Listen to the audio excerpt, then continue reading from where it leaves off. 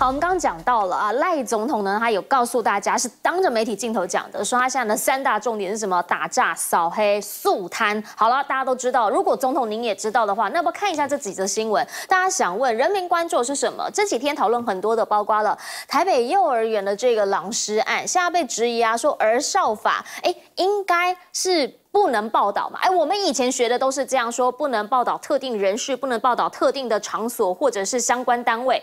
好，可问题是现在卫福部说哪有啊？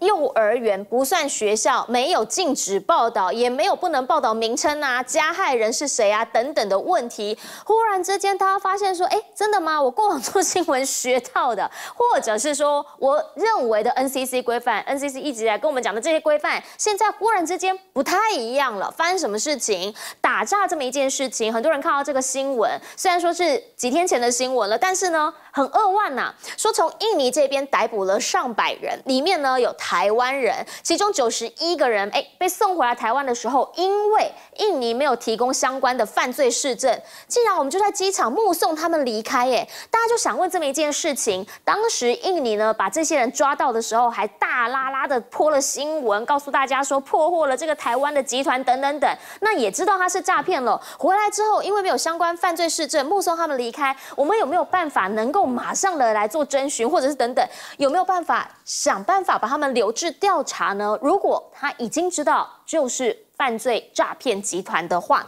这些其实万关是人民呢这个民怨最高的地方。好，可是我们看到了政府现在哪个部分可能比较急？这个部分比较急啦，人事的安排。来看到台盐的绿能，现在呢说开始进行这四个字人事清理。好，传出英系的这一位。总经理说，现在呢早上十一点收到任命新总经理的通知之后，下午一点董事会结束，他马上就交棒，就被请离开了。这位总经理呢，其实他被质疑是英系的人马，甚至呢还引系了相关的英系人员进来，还曾呢由小英知友会新竹这边的总会长，他的哥哥来担任特助主导会议，然后标案发给了溧阳体系的人。哎，这一些过往，如果你有在看相关的绿能产业的字眼，应该都不陌生。现在是真的在清流了吗？好，另一个部分呢，则是今天有很多人在问金内亚 gay，这个是圆山大饭店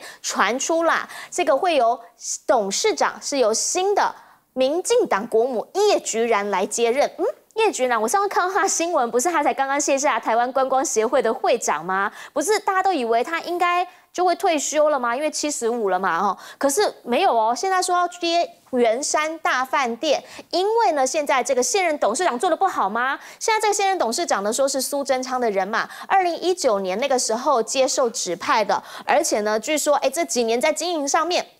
好像业绩也还可以，可是为什么这个时候换人？有政党人士就讲了，因为叶菊兰是独派的，跟赖清德私交很好。还有人的说法是说，哎，其实最快八月就会召开临时董事会来任命，但是交通部间的回应都是说，这个还没有证实相关讯息。好，他们。我也不承认有这样子的一个说法，还有一个部分是外交体系。当时呢，这个驻美代表现在传出会由林佳荣很信赖的他的人马，赖清德也很信赖的人马来出任。这一位呢叫做杨义山，好，现在呢是党里面的秘书长。然后呢，为什么他会来接驻美的副代表？最主要的原因就是因为。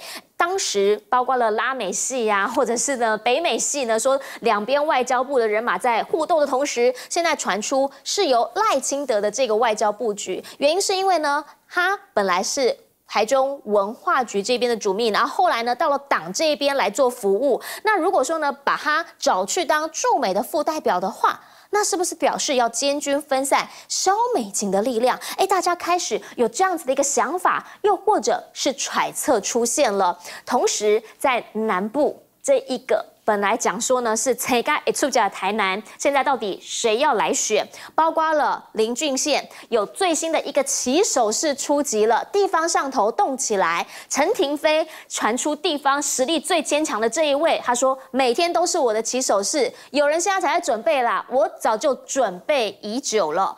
到底这样子的一个做法，我们应该要怎么样来理解？这一位前立委郑立文的讲法是，民进党里面通常啦都是派系均分啦，哈，大家。各自能够好好的分配均匀，总统的人马还要子弟兵去抢市长。他认为民进党几十年来没看过，甚至呢，他直接讲赖清德是无情无义、摸会摸把赛，还说民进党内部很快会离心离德。其实现在民进党内部他们确实是有一些讨论的。好，幕后报道呢强调的是，现在要抢的就是中常委了。他们说陈廷飞呢现在虽然被郑国会哎得清出来，可问题是。呢，到底派系里面会怎么样，在这个全代会这一边来改选？陈立飞有没有办法能够留住他的势力？因为他希望保有初选嘛。郑文灿现在虽然人在里头，有没有办法把整个桃园这边的势力给盘整起来？哎，这牵扯了又是。两年后的布局，我们想要请教一下亮哥，怎么样来看？如果说呢，人民最重要的事就是他心头第一要务的话，赖清德他应该赶紧来做的，就包括了幼师幼儿园的狼师案，包括了打架，这应该是他现在要努力来争取人民信任的。我幼儿他倒没提了，可是打架他有提啊，啊啊，打架树摊还有扫黑嘛。那打仗这个就是一个样板的个案，嗯，结果竟然这么随便就让他们离开，表示并没有人得到这样的一个指示啦，不然这种案子就是表现的机会啊，嗯，就好像你你那个鸡啊郑文灿，人家就觉得你是树摊开始了嘛，对，不是吗？嗯，那扫黑，如果林世杰那个凶手被抓到，那也是一个指标性啊，对，那打仗呢？打仗总要有个开。开始的点吧，对不对？比如说冒充王伟案的被抓到啊，啊之类的，就是你总要有一个一个大家看得见的一个象征性的事件吧。那这个就是一个很好的事件啊，嗯，就这样遗漏了啊，这有点可惜了。我是觉得啊，这个因为赖清德现在在办郑文灿之后，大家确实就是感受到他的威了啊。那这就是威严的那个威，威了，威了啊！他是现在就是有威没有恩呐啊！一般领导人要恩威并用嘛。那他的威是展现出来了，那大家都怕你啊，大家都怕你啊。那可是大家都怕你，你没有用啊。嗯。那人家人家去整整你的爱将啊。嗯。因为我不敢不敢碰你嘛。嗯。那可是因为很多事情党内的讯息都是流通的嘛。那你那么那么高调，那我不敢跟你竞争啊，那我就去整你下面的人啊。这个事实上在蔡英文后期也发生过啊。嗯。不然你以为林志坚的论文是谁爆料的？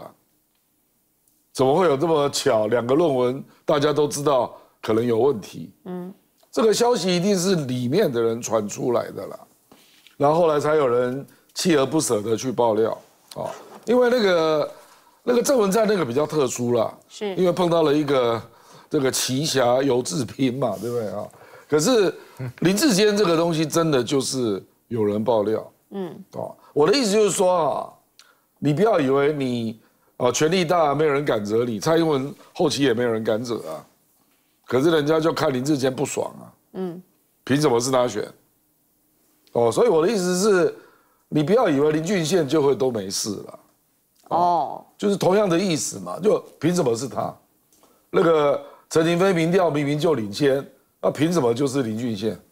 啊，所以这个过程人家也会知道很多。呃，你以为你以为人家就不知道有关林俊宪的相关的事情啊？哦，那当然也会有很多事情就会传给陈廷飞了，说你再不退啊，可能会有事哦。威会出现就对，当然是这样啊。嗯啊，可是如果如果你在治理一个政党、治理一个国家都是靠这种手段啊，那你不要以为别人都不敢跟你这个暗中来较劲嗯，因为你在明处嘛，人家在暗处嘛，啊，那你未来的执政，你就会发现，哎呦，这个怎么什么部长啊，一大堆资料都会我我爆料了。被外面的人知道了，嗯，比如说陈忠燕，陈忠燕的消息外面怎么会知道？陈忠燕是赖清德的嫡系啊，是。如果他没有出事，他现在应该是行政院副秘书长啊，嗯，结果他现在就上不来啊，所以我觉得啊，有些事情自己要看清楚了。不要以为都只会立威了，然后都不用别的方式来处理问题了。